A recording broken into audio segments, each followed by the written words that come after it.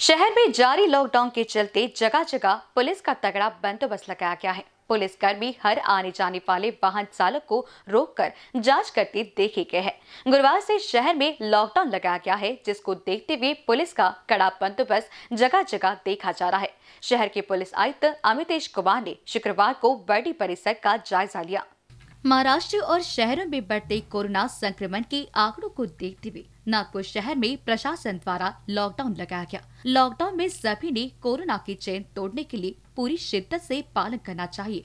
इसलिए पुलिस प्रशासन अच्छा काम करी है। शहर की हर चौराहा तथा मुख्य सड़कों पर पुलिस वाहनों की चेकिंग करे है।